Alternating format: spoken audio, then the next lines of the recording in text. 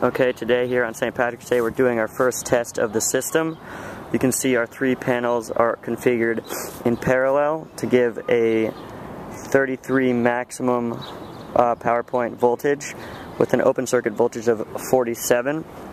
These things come into our SunSaver maximum power point tracker which then steps down the voltage to 12 volts while uh, regulating the current and voltage so that we're always staying at the maximum power point uh, on the voltage current curve.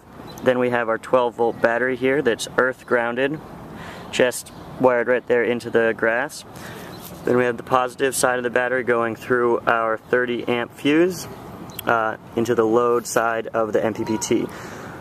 We also have um, all of this connected via a serial connection, which is not actually connected at the moment, to the computer running a SC View software that allows us to track the current, the voltage, uh, the state of charge, and the general performance of the system.